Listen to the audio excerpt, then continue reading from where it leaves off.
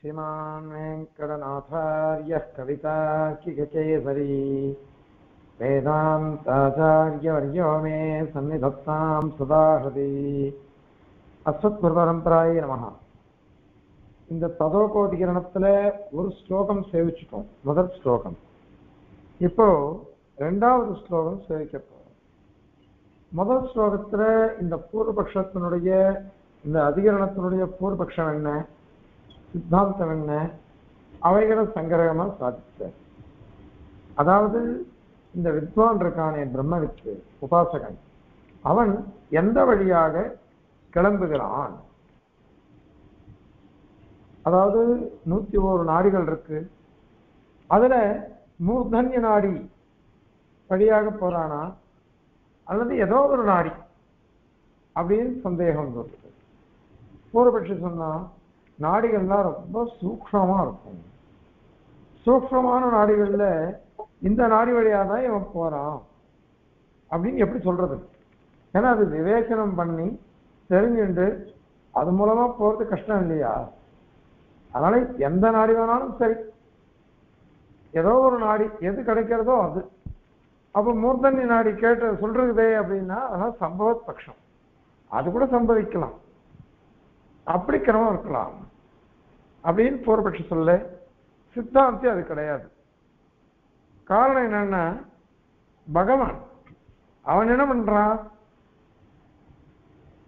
நாம பண்ற உபாசனத்தினால பிரீதனாகி மார்க்கத்தை காமிச்சு கொடுக்கிறான். அப்படி காமிச்சு கொடுக்கறதுனால அந்த வழியாக நாம போயிடுறோம். ஆகவே இந்த இடத்துல மூர்தன நாடி வழியாகத்தான் இவன் போகிறான். அநியமம் சொல்லக்கூடாது. அநியமன்றது இவாளுக்கு தான் அவித்வான்களுக்கு. உபாசனம் பண்ணாதவாளுக்கு மூர்தனி நாடி வராது. வேற ஏதோ நாடியில தான் போவாவா? ஆனால் இந்த வித்வான் மாத்திரம் மூர்தன்ய நாடி துவாரா தான் இவன் அர்ச்ச இதில் கிளம்புறான் கிளம்பி அர்ச்சராத மார்க்கத்தில் போய் மோட்சத்தை அடையிறான் அப்படின்றது தான் சித்தாந்தம் சாதிச்சு முடிச்சுட்டேன். அதன் பேரில் அடுத்த ஸ்லோகம் பெருமாள் எப்படிப்பட்டவன்? அவன் நமக்கும் அவனுக்கும் நம்ம எப்படி இருக்கு சம்பந்தம்? அவன் நம்மளை எப்படி ரட்சித்து நமக்கு மூர்தனி நாடியை காமிச்சு கொடுக்குறான்? அந்த மாதிரி விஷயங்கள் எல்லாம் இங்கு சாதிக்கிறார். சுவாமி தேசிகன் பெருமாளை சப்த லோகி கிரகஸ்தன் அப்படிங்கிறார். அனைத்து லோகத்துக்கும் கிரகஸ்தனா இருக்கான். நாம வந்து என் குடும்பத்துக்கு நாம கிர நான் கிரகஸ்தன். நம்மளாம் அவாவா குடும்பத்துக்கு அவா கிரகஸ்தனா இருக்கும். அவ ஸ்திரீ பாரியை பத்னி கிரகணியா இருக்கா? இவன் கிரகஸ்தனா இருக்கான். அவாவா குடும்பத்துக்கு ஒண்டி. நம்ம குடும்பத்தை சேர்ந்தவாறு நாம ரட்சிப்போம். அப்பாவும் தாயாரும் சேர்ந்து குழந்தைகளை ரட்சிக்கிறது.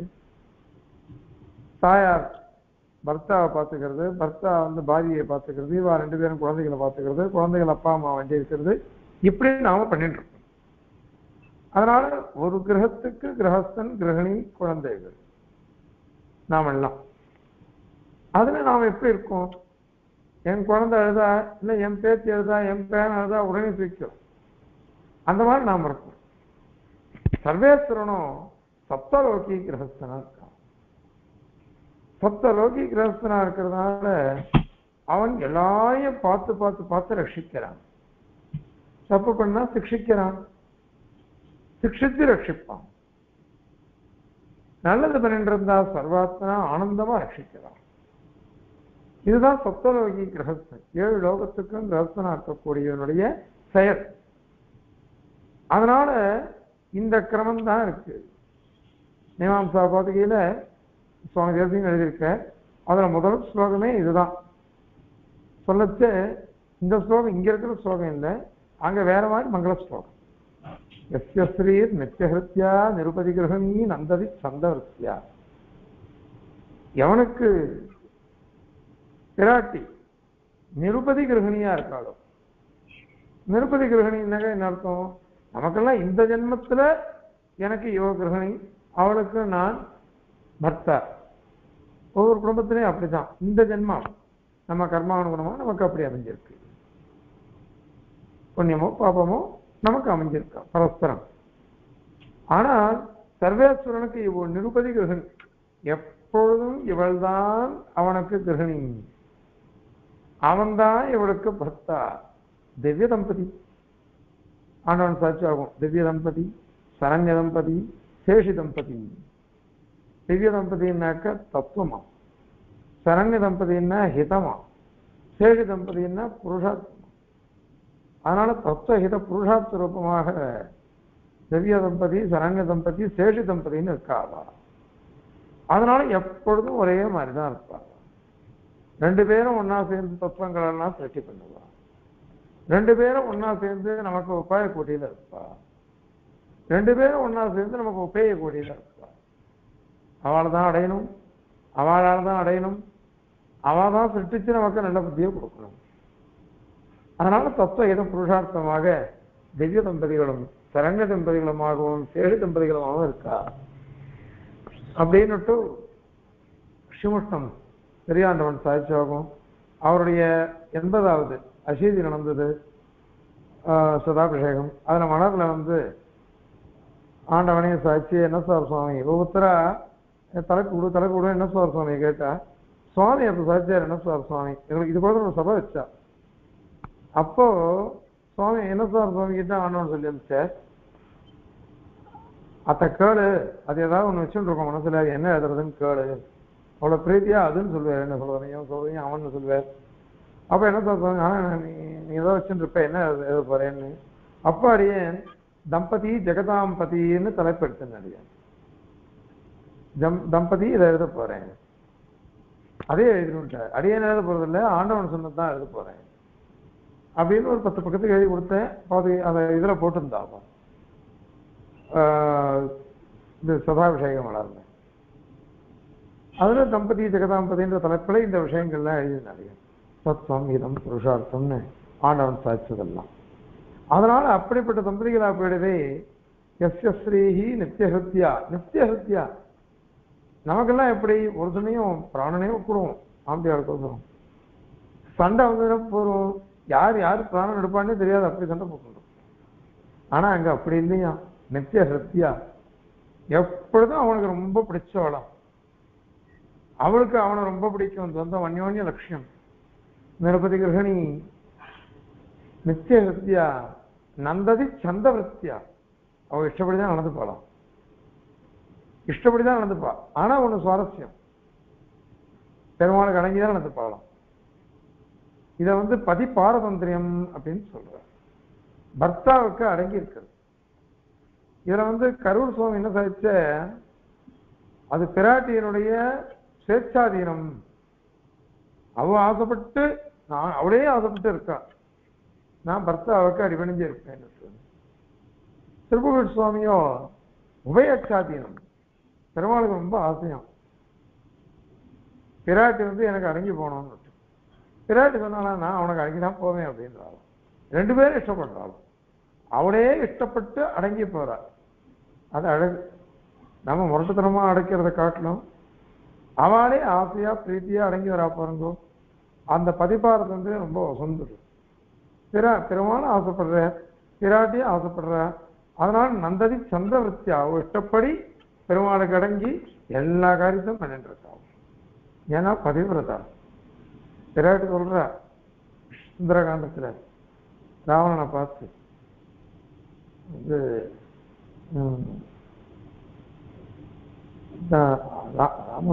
அனுசந்தேஷா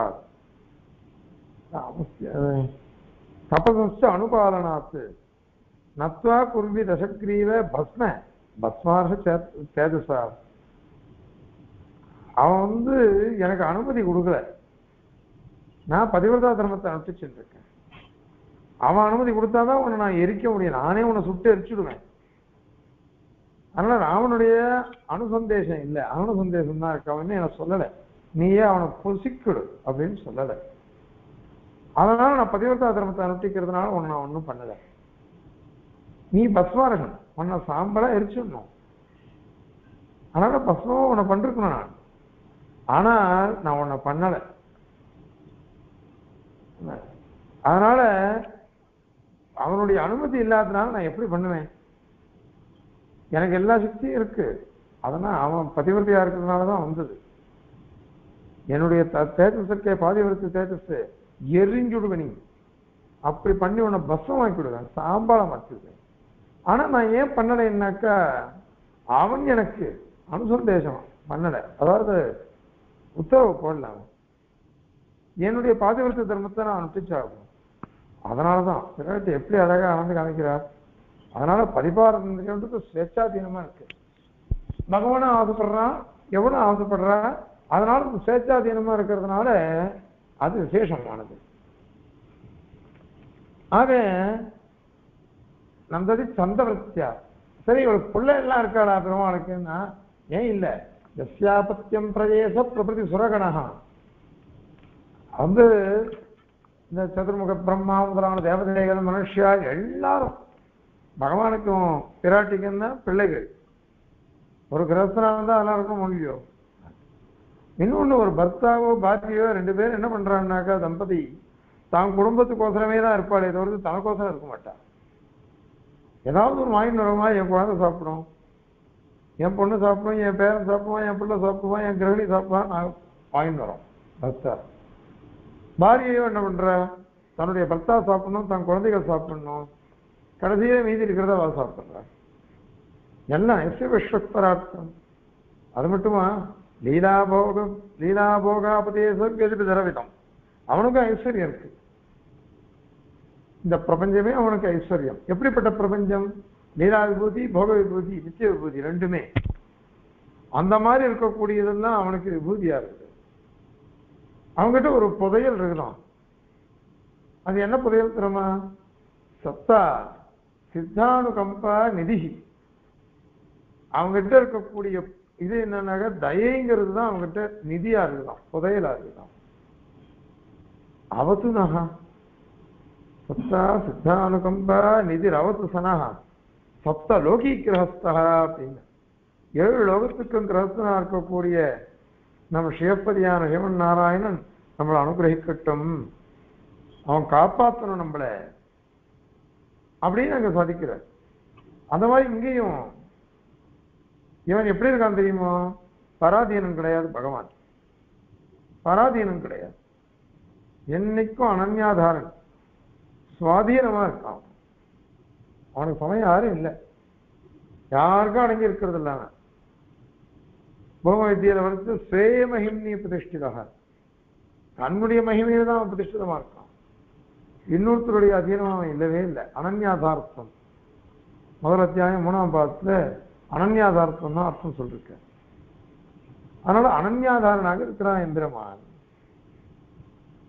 அதனால ஸ்வேய மகிமைய பிரதிஷ்டிதா ஆக அவன் என்ன பண்றான்னாக்கா சுவாதீனனா இருக்கான். அது மட்டும் இல்ல அவனுக்கு என்ன தலையெழுத்து? நம்ம ஹிருதய குகையில வந்து உட்காரணும்னு அவன் பரமபதம் நம்மளை நியமனம் பண்ணிட்டு இருக்கலாமே. சர்வசக்தன் சர்வஜன் யாரை எப்படி நியமனம் பண்ணணும்னா அவனுக்கு எல்லாம் தெரியும். அங்க அவனால பண்ண முடியுமே. ஏன் இங்க உட்காந்துட்டு இருக்கானா? அப்படின்னா நம்ம கிட்ட இருக்கிற ஆசை நம்மளை அனுகிரகிக்கணும். நம்மளை அனுகிரகிக்கணும்ன்ற ஒரே ஒரு ஆசை தான் அவனுக்கு. உள்ள உட்கார்ந்துட்டாவது நம்மளை காமிச்சு கொடுக்கலாமே. அப்படின்னு நான் உட்காந்துருக்கானா அதனால அவனுக்கு ஹார்த்த சம்ஞன் அவனுக்கு அந்தரியாமின்னு பேரு. ஹார்தன் அப்படின்னு அவனுக்கு பேரு. அது மட்டுமா?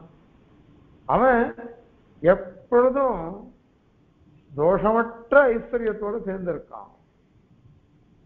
தோஷமற்ற ஐஸ்வர்யம்னா என்ன அர்த்தம்னா பிராட்டின்னு அர்த்தம்.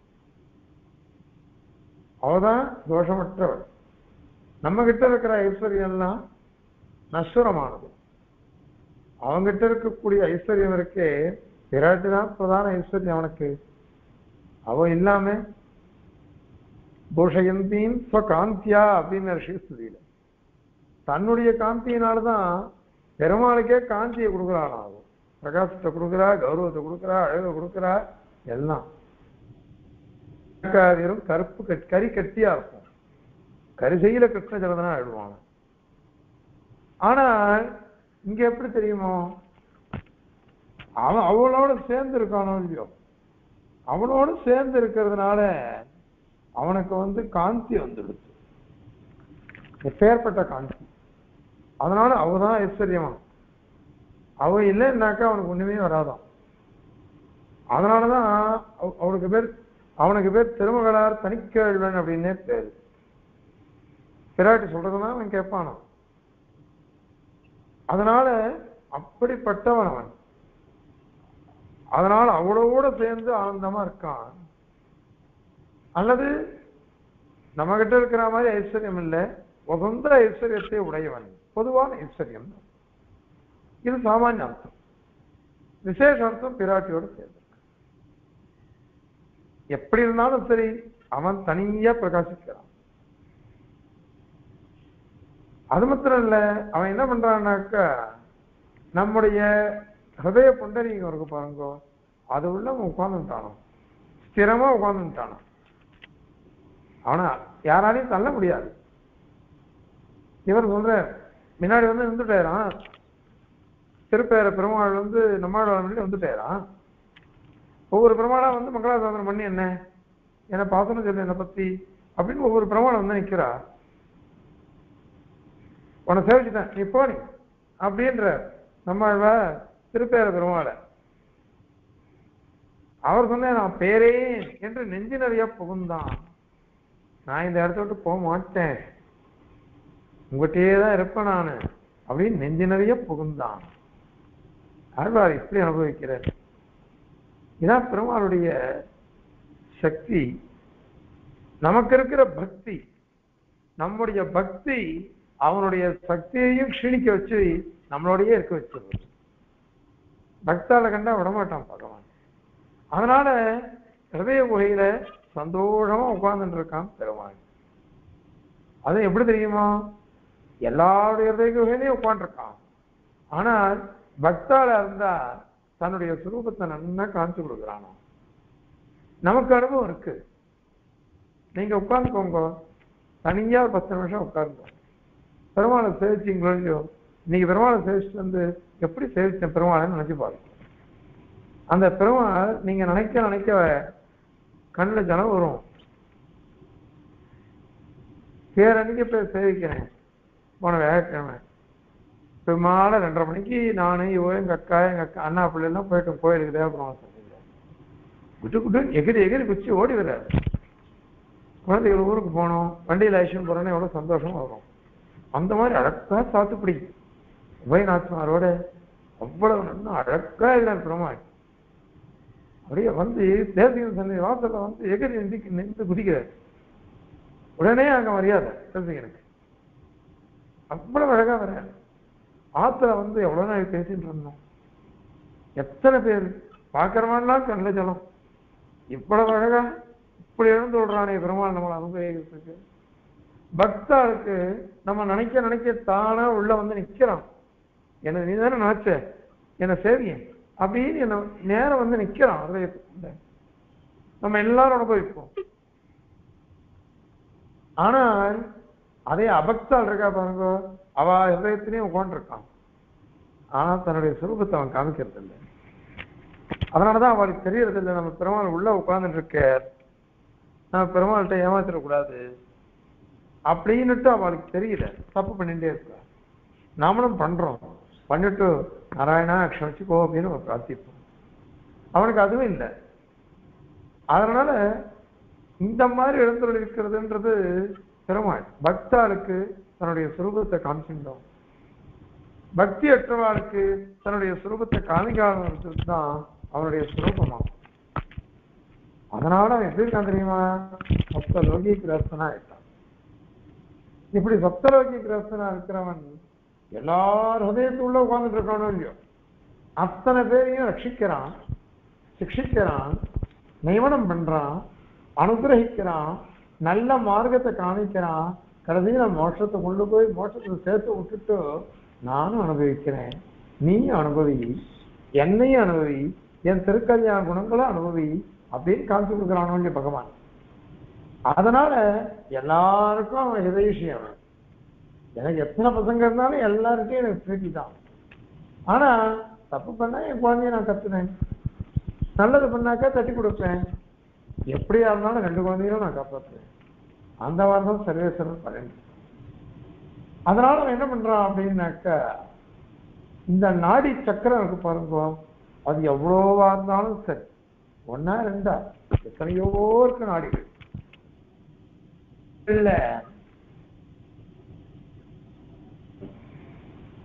அதுக்குதான் மூர்தன்ய நாடின்னே பேரு. அந்த நாடி நாபியிலிருந்து ஆரம்பிச்சு தலை பரியந்தம் இருக்கு. அதனால அந்த நாடிய வழிய இவன் காமிச்சு கொடுக்குறான். அதுவும் எல்லா நாடுகளுக்கும் ஆதாரபூதமா இருக்கும் இது. எல்லா நாடுகளுக்கும் ஆதாரம். அத மாதிரி எல்லாருக்கும் சந்தோஷத்தை கொடுக்கக்கூடிய இந்த நாடி யாரு மோட்சத்தை விரும்புறானோ அவனுக்கு இந்த நாடி தான் இல்லை. இந்த வழியில தான் வழியா தான் அழைச்சிட்டு போறது. இந்த நாடி வழியா தான் பிறந்துன்னு உள்ள போகணும்.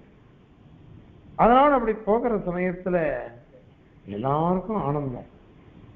அந்த கிளம்பிட்டோன்னா போறோம். நம்ம ட்ரெயின் எல்லாம் ஏறி போனோம்னாக்கா இந்த கிளம்புற வரையும் கஷ்டமா எப்படா கிளம்பணும் எப்படா கிளம்பணும் நினைச்சிட்டு வண்டி கிளம்பி குழு குழு குழுன்னு காத்து வந்ததுன்னாக்கா சந்தோஷமா போகும். இது லௌகிகமான சாதாரண அல்ப சந்தோஷம் இதுவோ எப்படிப்பட்ட இது பிரயாணம்? அந்த ஸ்லோகம் இருக்கு அது. அதராகிது சாரு வம்சநாளாக மகுட்டாலம்பி மயூர பிஞ்சனீனாக ஹரிநீரசிலா விபங்கனீலாக பிரதிபாசுந்து மமாந்திம பிரயாணி. நான் கிளம்பச்ச இப்படிதான் நீ வந்து நிற்கணும் கிருஷ்ணா அழகா மயில் வெளியே வச்சுக்கோ. அதுவும் கையில வந்து வேணும் வச்சுக்கோ. மூங்கில் கை புல்லாங்குழல் அழகா வச்சுக்கோ. உன்னுடைய நவரத்னங்கள்லாம் பிரகாசிக்கணும். நீயே ரத்னம். உங்ககிட்ட இருக்கக்கூடிய ரத்னங்கள்லாம் பிரகாசிக்கணும். இப்படி அழகா இருக்கக்கூடிய உன்னுடைய திருமணி இருக்கு பாரு அதை நான் கிளம்புற சமயத்தில் என் முன்னாடி வந்து நிற்கணும் நான் சேவிக்கணும். எல்லா ஆச்சாரியாலும் இந்த ஸ்லோகத்தை ஆனந்தமா சொல்லுவாங்க. இந்த ஸ்லோகம் யாருக்காவது? எல்லா குழந்தைகளும் அவங்க வசதி தான் பொண்ணு பிறந்துட்டே இருக்கு பிள்ளை பிறக்கல அப்படின்னாக்கா இந்த பிள்ளை பிறக்கணும்னே இந்த ஸ்லோகத்தை சொல்ல சொல்லுவாளாம். பெரியவா உபதேசிப்பாள் அதனால இதை உபதேசிச்சு இந்த ஸ்லோகத்தை சொல்லிட்டே இரு. தியானிச்சென்று. உனக்கு பிள்ளையும் பிறந்துருவான் அப்படின்னுட்டு ஆச்சாரியாலாம் அனுகிரகிப்பாராம் அந்த மாதிரி வசந்த ஸ்லோகம். அதராகித சாரு வம்சநாளாக மகுட்டாளந்தி மயூர பிஞ்சமாளா ஹரிநீலசிலா விபங்கநீலாக. பிரதிபாசந்து மமாந்திம பிரயாணி ஏன்னா என்னுடைய அந்திம பிரயாணத்துல இதுதான் பிரகாசிக்கணும். இந்த ஸ்லோகத்தை சொன்னா குழந்தை பிள்ளை குழந்தை பிறக்கணும் அது உபதேசிச்சா எனக்கு இடையே எனக்கு. பகவத் சங்கப்போடையே ரெண்டு பொண்ணு மூணு பொண்ணு பிறந்த ரெண்டு பொண்ணு இருந்தது அதான். அதனால எதுக்கு சொல்றோம்? இந்த மாதிரி பெருமாள் வந்து என்ன பண்றாருனாக்கா சப்தலோகி கிரஸ்னாந்து இந்த சுஷும்னா நாடி இருக்கு பாருங்க அதை கொண்டு நம்மளை சந்தோஷப்படுத்தினானா எம்பெருமான் ஏன்னா அது எல்லாரையும் சந்தோஷப்படுத்த இருக்காது அந்த வழியில போறவாளர்கள்லாம் ஆனந்தமா இருக்கும் ஏன்னா பெருமாள் தன்னுடைய சுரூபத்தை காமிச்சு ஓ இந்த வழி அது இந்த ரூபத்தை காமிச்சிட்டேன். நீ அங்க போனேன்னா இந்த ரூபத்தை தான் அங்க அனுபவிப்ப சந்தோஷமா நீ அனுபவிப்ப அப்படின்னுட்டு ஆனந்தமானது இது. மாவி முத்தாந்த ரூபமா இருக்கக்கூடியது. அதை என்ன பண்ணானாம் பெருமாள்? பித்வா அந்த நாடி சக்கரத்தை நாடி சக்கரத்துல நான் நாடி இருக்கு. அதை அப்படி புழகிறானாம் பெருமாள். புலந்து அதனுடைய நடுவுல ஒரு ஹோல் ஓட்ட ஓட்டை இருக்கு. அது உள்ள நம்மள அனுப்பிச்சுடுறான் பகவான். அது எப்படி போகிறது தெரியுமா? ஒரு பானம் இருக்கு அம்பு. அந்த தானுஷ்கன் இருக்கானே வில்லாடி அவன் வில்ல வச்சிருக்கவன் என்ன பண்ணுவான்? அப்படின்னு இந்த தனுஷை எடுத்துட்டு அந்த அம்பை எடுத்து பிரயோகம் பண்ணிடுவான். பிரயோகம் பண்ணா அது என்ன பண்ணும்? கிழிச்சுண்டு போகும். நாங்களாம் சின்ன வயசுல இந்த கல் ஒண்ணு இருக்கும். இந்த ஓட்டு ஓட்டாஞ்சல்லின்னு இருக்கும். அதை எடுத்து இந்த குளம் இருக்கும் இல்லையோ இந்த குளத்துல இல்லைன்னா அடிப்போம் வேகமா அதை இது பண்ணினோம்னாக்கா அந்த கல்லு பொடியில போய் தான் உள்ள போகும் தண்ணி உள்ள. அதுக்கு முன்னாடி என்ன பண்ணணும்னாக்கா அங்க அங்க அங்க அங்க அப்படியே வெட்டு வெட்டு வெட்டுட்டே போகும். அது அது மாதிரி பண்ணுவோம். அப்ப என்ன ஆகும்னாக்கா ஒரு அம்பு போற மாதிரி அழகா இருக்கும். பெருமாள் என்ன பண்ற இந்த சுசும்னா நாடி இருக்கு பாருங்கோ அது அழகா பொழந்து அது நடுவுல ஒரு அம்ப அனுப்புற மாதிரி நம்மள உள்ள அனுப்பிச்சிடுறான் நம்ம பகவான். உள்ள அனுப்பிச்சிட்டான்னாக்கா அது என்ன ஆகும்? நீர கிளம்பி மூத்தஞ்சு நாடி தலைய பொழந்துண்டு பொழந்துண்டு நீர கிளம்பிடுறான் கிளம்பி வரிசையா அர்ச்சிராதி மார்க்கம் வந்துடுறது வந்துட்ட உடனே ஆதிவாகிக கணங்கள் அர்ச்சிராதிகள் அவள்லாம் சேவிச்சு சேவிச்சு எழுந்துருள எடுத்து போறார் அதுக்கப்புறம் சூரியமன் நடத்துறது போய் பொழந்துட்டு அண்ணட போறான். போய் விரஜா நதி பிரஜா நதியில போய் ஸ்நானம். அதுக்கப்புறம் அங்க சங்கல்பத்தினாலேயே தாண்டிடுறான். தாண்டிட்டு பெருமாளுடைய பரியங்கத்தை பார்க்கறான். பார்த்துட்டு சந்தோஷமா போய் பரியங்கத்துல போய் உட்காந்துடுறான் பகவான் தன் பக்கத்துல பிராட்டி இருப்பா. அவளெல்லாம் காட்டணும் வசந்த பக்தன் வந்துட்டானே அப்படின்னு பரியங்கத்துல உட்காந்து வச்சுட்டு பேச ஆரம்பிக்கிறானா கோசி நீ யார் அப்படின்னு கேட்கிறான் அவன் அகம் அஸ்மி சத்தியம் அஸ்மி சத்யோ இப்படிலாம் அவன் சொல்றான். இந்த மாதிரிலாம் கௌஷிதிக்கு பண்றது அந்த மாதிரி எம்பெருமான் என்ன பண்றான்னாக்கா நம்மளை அனுப்புறான். இவ்வளவு வசந்த கதி. இந்த கதியை கொடுக்கறதுன்றது மூர்த்தன்ய நாடி தான் இந்த மூர்த்தன்ய நாடி கணக்கு இல்லைன்னாக்கா நமக்கு வழி வராது. இந்த மூர்த்தன்ய நாடி தான் நம்ம ஆனந்தமா அனுப்புறது. ஆகவே இந்த உபாசகன் உபாசகன் என்ன பண்றான் அப்படின்னாக்கா இந்த மூர்த்தன்ய நாடி வழியாகத்தான் போவான். வேற வேற எந்த வழியிலும் இவன் போகவே மாட்டான்.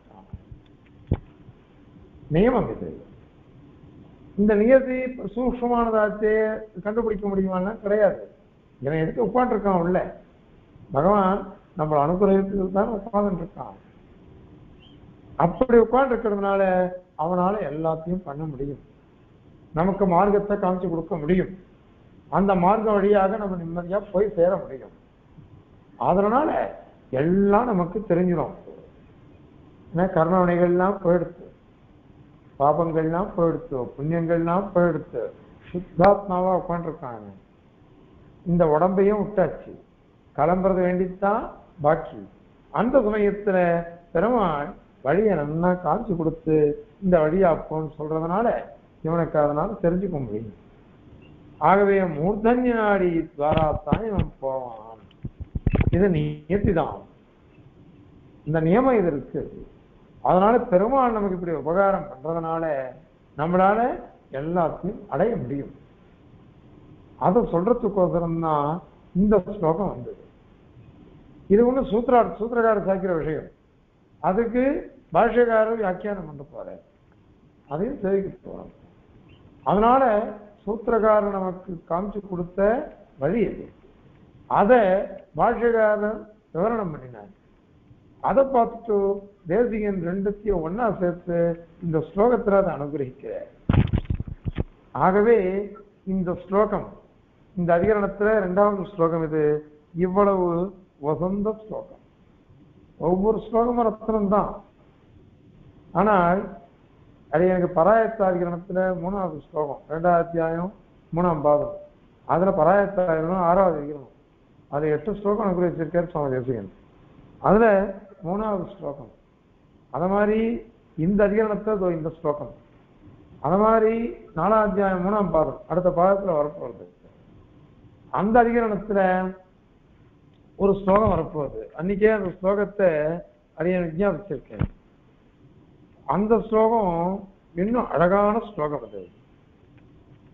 ஆஹ் காரியாதிகரணத்துல மூணாம் அத்தியாயத்துல மூணாம் பாதத்துல காரியாதிகரணத்துல அந்த ஸ்லோகம் வருது அது அந்த ஸ்லோகமும் ரொம்ப பிடிக்கும். ஏன் அப்படின்னு பெருமாள் நமக்கு பண்ற விஷயங்கள்லாம் அவ்வளவு அழகா காமிச்சு கொடுக்க போற நாம எப்படி எப்படி அனுபவிக்க போறோம்? பந்தானம் தேவயானம் அப்படின்னு ஸ்லோகம். இப்படி மூணு ஸ்லோகங்கள் ரொம்ப எனக்கு பிடிச்ச ஸ்லோகங்கள். அதில் இந்த முதல்ல ஒரு ஸ்லோகம் அப்படியே பற்றி இப்போ ரெண்டாவது ஸ்லோகம் அடி எனக்கு ரொம்ப பிடிச்சது. இந்த அதிகரணத்துல இது ரெண்டாவது ஸ்லோகம். எல்லாம் அழகான ஸ்லோகமாக இருந்தால் கூட இந்த ஸ்லோகம் ரொம்ப அழகான ஸ்லோகம். ஏன்னா பெருமான சுத்தரவாக்கி கிரஸ்தனா சொல்லி நிச்சயமாக தோஷமற்ற பிராட்டியோட சேர்ந்து இருக்கிறவனா நான் சொல்லி அவன் ரெண்டு பேரும் ஹதயத்துல உட்கார்ந்துட்டு பக்தாருக்கு நல்ல வழியை காமிச்சுண்டு சுரூபத்தை காமிச்சுண்டு நம்மளை அனுப்புறாள் வழியோ அதனால இந்த ஸ்லோகம் ரொம்ப அழகான ஸ்லோகம் ஆகவே இந்த ஸ்லோகத்தை சேவிக்கலாம் ஸ்வாதீனः हार्दसंज्ञः स्वयमविकलया सम्पदा साकमेकः स्थित्वा हृत्पत्नमध्ये स्थगितनिजतनुः सप्तलोकी गृहस्थः नाडीचक्रे सुषुम्नां, निखिलधृतिकरीं नाभिमुग्धान्तरूपां भित्त्वा तन्मध्यरन्ध्ररहितम् इषुमिव उत्क्षिप्य नेता मुमुक्षुम्। स्वाधीनम्। எந்திரமான் எப்பொழுதும் சுதந்திரனாக இருந்துள்ளிருக்கான். சுவாதீனம். அவனுக்கு பராதீனம் உண்டு. எப்போ? பாகவதாளுக்கு பராதீனம் அர்த்தம் பக்த பராதீனம். மற்றபடி அவன் எப்பொழுதும் சுவாதீனம் தான் அந்த பக்த பராதீனத்தோட ஏறிட்டுண்டது சுவாதீனம் தான் உண்மையானது. ஆனால் பக்தாளுக்கு அதீனமா இருக்கேன். குழந்தை குழந்தைக்கு நம்ம அதீனமா இருக்கோம். குழந்தை என்ன சொல்றதோ அதெல்லாம் செய்கிறோம் அப்படின்னா நமக்கு வந்து சுவாதீனம் இல்லைன்னு அர்த்தம் அந்த மாதிரி சுவாதீன ஹார்த சஞ்ஞா ஹார்தன்னு அவனுக்கு பேரு. நம்ம அதே குகையிலேயே எப்படிதான் உட்கார்ந்துட்டு இருக்கானோ அதனால அவன் வந்து ஹார்தன் அவனுக்கு தேவை ஹார்த சஞ்ஞா ஹதய குகையில எப்படிதான் உட்கார்ந்துட்டு இருக்கான்? அவன் பராதீனனாவே இருக்க மாட்டோம் அது மாத்திரம் இல்ல. ஸ்வயம் அவிகலையா சம்பதா சாகம் ஏக்காக விகலம்னா தோஷத்தோட கூடினது அவிகலம்னா தோஷமற்ற தோஷமற்ற அதாவது ஸ்வயம் எப்பொழுதுமே ஒரே மாதிரி இருக்கும். அப்படி இருக்கக்கூடிய ஐஸ்வர்யம் அது பிராட்டியம். அந்த பிராட்டியோட சேர்ந்துண்டு சம்பதா சம்பதனா ஐஸ்வர்யம் லக்ஷ்மிக்கு பேர் பிராட்டிக்கு அவளோ இல்லைன்னா அங்க ஸ்லோகம்லாம் இருக்கு லக்ஷ்மி அசக ரீகேசகா அப்படின்னு காருண்ய காருண்ய ரூபையான்னு வரும் அஹ் அஹ் வந்து ரக்ஷக சர்வ சித்தாந்தே வேதாந்தி எடுத்து கீயத்தே அப்படின்னுட்டு ஸ்லோகம்லாம் இருக்கு அவன் பிராட்டியோடு சேர்ந்து உள்ள இருக்கான் அவன் அவன் காருண்ய ரூபையான பிராட்டி. அவ்வளோ சர்வேஸ்வரிய சாலினி அவன் சர்வேஸ்வரிய சாலினியா இருக்கிறதுனால தான் நம்ம அங்க போனாக்கா நமக்கு ஐஸ்வர்யங்கள்லாம் வரும். அப்படின்னு சொல்றது அது. அதனால வந்து இந்த ஸ்லோகமே இந்தோ நாம தட்சிணே அக்ஷன் புருஷா வாமே தஸ்ய பத்னி விராட். இடது கண்ணில் இழந்து விடையிருக்காளாம் நம்முடைய வலது கண்ணில் பிரமாடம் இடது கண்ணில் பிராட்டியை நமக்கு கொடுக்கணும். அப்படின்னு ஒரு இடத்துல சொல்லிட்டு போயிருக்கு. இதில் இதுல வந்து சிவபிரகாஷ் கீதை அதை சாதிச்சிருக்காரு அதனால எப்பொழுதுமே திருமால் பிராட்டியோடு சேர்ந்தே இருக்கான். நித்திய வேஷா ஜெகன் மாதா விஷ்ணு ஸ்ரீ ரணபாயினி விஷ்ணுபுராணம் சொல்றது. எப்பொழுதும் பிரியாதவள் அவ்வளவு அழகானவள் கருணாரூபமானவள் நித்தியம் அஜ்ஞாத நிகிரகை ஐஸ்வர்யம்னா அவதான். அவளுக்கு தான் ஐஸ்வர்யம். அஹ் புதுக்கோட்டை சுவாமி சாய்ப்பர் எல்லாரும் ஆசீர்வாதம் பண்ணுச்சே. லக்ஷ்மியா இருக்கணும் லக்ஷ்மி கலையோட இருக்கணும்னு தானே சொல்றா. நீ பத்திரகாளியா இருக்கணும்னு யாராவது சொல்றாளோ? நீ கௌரியாரு உமையாருன்னு சொல்றாளோ? சொன்ன சொல்லச்சே. இருபது இரு. அப்படின்னா ஆசீர்வாதம் பண்ற காரணம் அது அவளுக்கு கொண்டே உரித்தானது. அதனால அப்படிப்பட்டவளை சேர்ந்து இருக்கணும் அவளோட கூட. சம்பதா சாக்கம் ஏகா இந்த இடத்துல அவிகலையா சம்பதான்றதுக்கு எத்வா பட்சம் போட்டிருக்கார். யாக்கியாக்காரா பண்ணியிருக்கார். என்ன அப்படின்னாக்கா பெருமாளுடைய ஐஸ்வர்யம் அது பிரசித்தமானது. எப்பொழுதும் கிடைக்கிறது தான் ஆனா பிராட்டியோடு இருந்தாலும் நம்மளை அனுகிரகிக்க முடியும் பெருமாளாது அதனால சுயம் அவிகலையா சம்பதா சாக்கம். அவன் ஒத்தந்தான். அவளோட சேர்ந்துட்டான்னாக்கா அவளுக்கு தனி இடம் இல்லை. அவன்தான் பிரதானம் அவனோடு சேர்ந்து இருக்கா இப்பொழுது.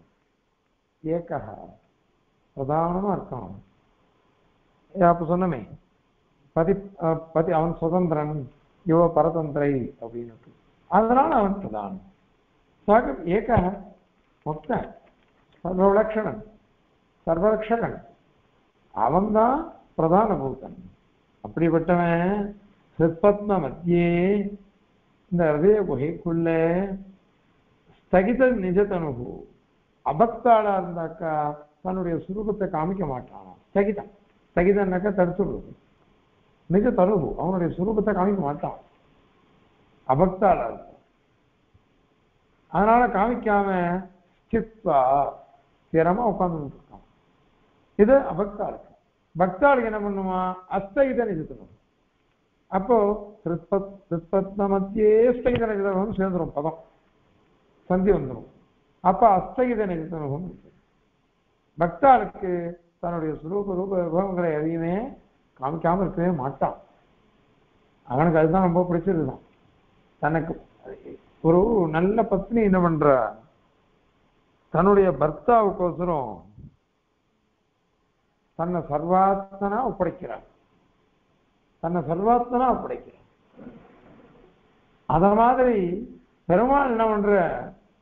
வா பக்தனை பார்த்துட்டு ஆனந்தப்பட்டு தன்னை சர்வாத்மனா ஒப்படைச்சிருக்காரு. அந்த மாதிரி அவனுடைய சுரூபம் இருக்கு. அதனால அஸ்தைக்கு தெரிஞ்சு இங்க வந்து பெருமாள் வந்து பாரியை இல்லை. ஆனால் பெருமாள் என்னன்னாக்கா பக்த பராதீனா இருக்கான். அதை சொல்றதுக்கோசரம் வந்தது. அதனால அஸ்தகித்தனை நிஜத்தனுகு அதனால அவன் என்ன ஆயிட்டான் தெரியுமா? எல்லா ஹதய குகையும் உட்காந்துருக்கான் பக்தர்களுக்கு மாத்திரம் ரக்ஷை ரக்ஷையை கொடுக்கிறான். அபக்தாளுக்கு சிக்ஷையை கொடுக்கிறான். மொத்தத்துல அவனுடைய ஐஸ்வர்யம் இது அத்தனை ஜனங்களும். அது உள்ள உட்கார்ந்து நியமனம் பண்ணி ரட்சித்து சிக்ஷித்து எல்லாம் பண்ணிட்டு இருக்கிறதுனால சொத்த லோகி கிரகஸ்தக அனைத்து லோகத்துக்கும் அவன் கிரகஸ்தனாம் ஆயிட்டான். அவன்தான் கேஹி கிரகி அவன்தான். அவதான் கிரகிணி. நாம எல்லாரும் உனக்கு பிள்ளைகள் தான். அதனால நம்மளை ரஷிக்கிறான் சிக்ஷிக்கிறான் அதனால தோஷம் இல்லையே. அப்படிப்பட்டவன். இப்போ இந்த இருக்கானே உபாசகன் அவனுக்கு என்ன உபகாரம் பண்றான்? அது சாய்க்கிறார். நாடி சக்கரே சுஷும்னாம் நாடி சக்கரே. நாடி மண்டலம் இருக்கு அது ரொம்ப அதிகமா இருக்கு. எக்கச்சக்கமா இருக்கும் நாடிகள். அது அத்தனையும் நமக்கு தெரியவே தெரியாது. சூக்ஷமா இருக்கு அதுல நிக்கல திருத்தகரி திருதிகரியும் இது வந்து இங்க நிக்கல திருதிகரின்றதுக்கு எல்லா நாடுகளுக்கும் ஆதாரபூதமா இருக்கு. அப்படின்னு ஒரு அர்த்தம். இது ஐஷங்கர் சாய்க்கிறது பதயோஜனையில் குமார தேசிகனும் அப்படி இல்லை. அனைத்து வர்க்கத்தையும் சந்தோஷப்படுத்துறது. ஏன்னா அதனால சந்தோஷப்படுத்துறதுக்கு காரணமா இருக்கு? அதனால வந்து அனைத்தையும் சந்தோஷப்படுத்துறதுன்னு அர்த்தம் பண்ணியிருக்க குமார வரத தேசிகன் சிந்தாமணியில. அதனால அந்த அர்த்தம் சொல்லலாம். அதுவே அழகா இருக்கு அப்படின்னு சொல்லிட்டே இருக்கு. அதனால இது ரெண்டுமே உண்டு அர்த்தம். ரெண்டுமே எத்வா பட்சத்துன்னு சொல்லிட்டாரு அது அந்த மாதிரி இருக்கக்கூடிய நாடிய அது எங்கே இருந்து கிளம்புறது நாபி மூர்தாந்த ரூபாம். நாபி கவனத்திலேருந்து ஆரம்பித்து சிரசு பர்யந்தம் போறது. அவ்வளவு பரிதம் அவ்வளவு அளவோட கூடினது. நமக்கு நாபிங்கிறது எவ்வளவு தூரம்? இங்கே நின்று ஒன்றரை அடி ரெண்டு அடி ஒரு முழம் ரெண்டு முழம் அவ்வளவுதான். ஆனால் அதுதான் நமக்கு முக்கியமான நாடியா இருக்குது. அதனால நாபி முத்தாந்த ரூபம் சுஷும்னாம். சுஷும்னான் நாடி அதுக்கு பேரு. அந்த நாடியே பித்வா. அதை திரும்ப என்ன பண்றது தெரியுமோ? பொழந்துடுற தித்வா பிறந்துட்டு தன் மத்தியரந்திர. அது பிறந்துட்டா என்ன ஆகும் அப்படியே நூலை நூலை கிழி கிழிச்சோன்னு வச்சுக்கோங்க அது ரெண்டு அப்படியே பிரிஞ்சுட்டே வரும். ரொம்ப ஜாக்கிரதையாக கிழிக்கணும். அது மாதிரி வாழை அதெல்லாம் ஜாக்கிரதையாக மனுஷா மனுஷா மனுஷா கிழிச்சுட்டே போவோம் அதை மாதிரி பிரம்மா என்ன பண்ற? நாடி சக்கரத்துல சுஷும்னா நாடின்னு வசந்த சொந்த நாடி அதுக்கு மூர்தண்டி நாடின்னு பேரு. அனைத்துக்கும் ஆதாரமாக இருக்கக்கூடிய நாடி அனைத்துக்கும் சந்தோஷத்தை கொடுக்கக்கூடிய நாடி அந்த நாடியே குழந்து அது நடுவுல தன் மத்திய ரந்திர அது நடு நடுவுல இருக்கக்கூடிய ஒரு ஓட்டை. அந்த ரந்திரத்துல பிரகிதம். அந்த அந்த உபாசகனை உபா பிரகி முமுக்ஷும் பிரகிதம் இவ. முமுக்ஷுவ அதாவது நம்ம மோட்சத்தை விரும்புற உபாசகனை. என்ன பண்ற பெருமாள்? இஷுமிவ உட்சிப்பிய நேதா மோட்சம் ஒரு பானத்தை மேல பார்த்து வேகமா அடிச்சா எவ்வளோ தூரம் போகும்? அந்த மாதிரி பெருமாள் என்ன பண்ணுறாருனாக்கா அவளை தூக்கி உட்கிப் உட்கிருப்பிய உட்கிருப்பியன்னா மேல தூக்கி அனுப்புறது. மேல தூக்கி நம்மளை சொல்றாங்க அதை கடாதுறாரு நம்மளை. அந்த இது வழியா போ. நாபி நாபிக்கமல நாபி இது இருக்குதே. ஆரம்பம். சுசும்னா நாடு ஆரம்பம். அதை பிளந்து அதில் அனுப்பிச்சுடுற யுஷும் இவ உட்சிப்பிய யுஷுன்னா அம்பு. அம்பை எப்படி ஒரு வில்லாளி நல்லா பிரயோகம் பண்ணி மேலே இருந்து அனுப்புவானோ? அந்த மாதிரியாக இந்த நேதாவான எம்பெருமான் முமுக்ஷும். முமுக்ஷுவான உபாசகன். தன்மத்தியரந்திர பிரகிதம். அந்த சுஷும்னா நாடிய பொழந்து அது நடுவுல. அப்படி அனுப்புறாரு. முக்ஷிப்பிய நேதா அனுப்புகிறான். விஷுமிவன் ஒரு பானத்தை அனுப்புகிறான் மாதிரி. அப்படி அனுப்பிச்சுறதுனால என்ன ஆகுது? அப்படின்னாக்கா நமக்கு அர்ச்சிதாதிபதி மார்க்கம் கிடைச்சி மோட்சமும் கிடைச்சிருந்தது எப்பேற்பட்ட உபகாரத்தை பண்ணுறான் பெருமாள்? பெருமாள் தான் நம்மளை அனுப்புகிறானோ பெருமாள் தான் நமக்கு மார்க்கத்தை இது பண்ணி அனுப்புகிறான் அதனால இதான் கிரமம் அதனால நியமம் தான் இங்க இருக்கு. அநியமன்றது கிடையாது. மூர்த்தந்தி நாடி வழியாத்தான் இவன் போவான். அந்த மூர்த்தந்தி நாடியை விவேச்சனம் பண்ண முடியும். அதுக்கு மூல காரணம் என்ன? பெருமாளுடைய அனுகிரகம். அதுக்கும் மூல காரணம் நம்ம பண்ற உபாசனம் அல்லது சரணாகதி உபாயம். அந்த உபாயத்தினால அவன் சுப்ரீதனா ஆயிடுவான் பிரீதன் சுப்ரீதன் அப்படி பிரீதனா போய் சுப்ரீதனா போய் நம்மளை அனுகிரகிக்கிறதுனால நமக்கு இந்த முத்தஞ்சு நாடி வழியாகத்தான் உத்கிராந்தி. இது உபாசகனுக்கு இதான் கிரமம் இது நியதம் அதை உபாசகன் இல்லாதவன் அவர்கள்லாம் அது மாதிரி இல்லை. அப்படிங்கிறத இந்த ஸ்லோகத்தினால சாதிக்கிறார். இது இந்த ஸ்லோகத்தை சொல்லிக்கிறார் சுவாதீன ஹார்த स्वयमविकलया सम्पदा साकमेकः स्थित्वा हृत्पत्नमध्ये सखितनिजतनुः सप्तलोकी गृहस्थः नाडीचक्रे सुषुम्नां निखिलधृत धृतिकरीं नाविमुद्धन्तरूपां भित्त्वा तन्मध्यरन्ध्र रहितमिषुमिव उत्क्षिप्य नेता मुमुक्षुम्। இதுல இந்த அதிகரணத்துல ஒரே ஒரு சூத்திரம். இந்த சூத்திரத்தையும் விசேஷம் ததோகோக்ரஜ்வலனம் தத் பிரகாசத்வாரோ வித்யாசாமத்யா தச்சேஷகத்யனுஸ்மிருதியோகாச்ச ஆர்த்தானுகிரகீத சதாதிகையா அப்படின்னு இந்த சூத்திரம் இதுல அர்த்தம் பாருங்க. சதாதிகையா. பிரம்மவித்தானவன் நூத்தி ஓராவது நாடி சதாதிக்கம். நூறுக்கு மேல இருக்கக்கூடிய நூத்தி ஓராவது அந்த நாடி மூர்தன்ய நாடின்னு பேரு.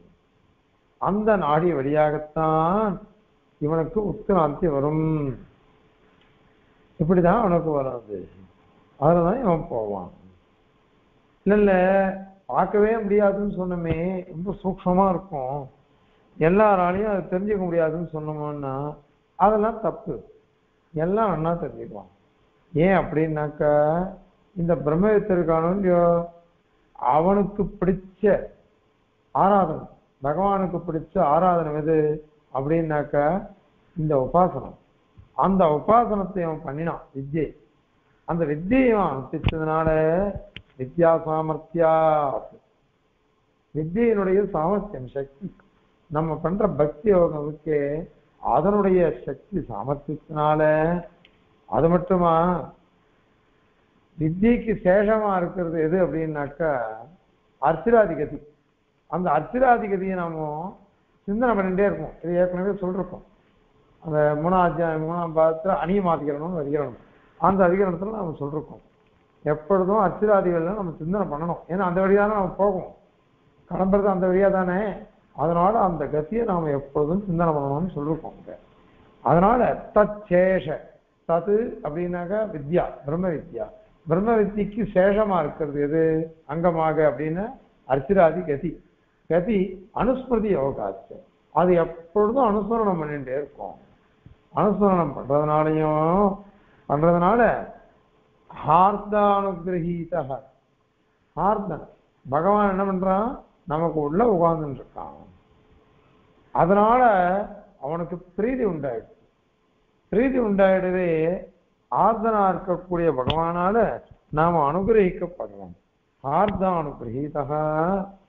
அப்படி அனுகிரகம் வந்தா என்ன இருது சத் பிரகாசித்வாரக அது பிரகாசிக்கப்பட்டது மார்க்கம். எதனுடைய மார்க்கம்? தத ததோகக அவனுடைய ஸ்தானம் ததுன்னு தஸ்ய அர்த்தம் தஸ்ய. ஜீவசிய ஜீவனுடைய ஓக இருப்பிடம் அவனுடைய இருப்பிடம்.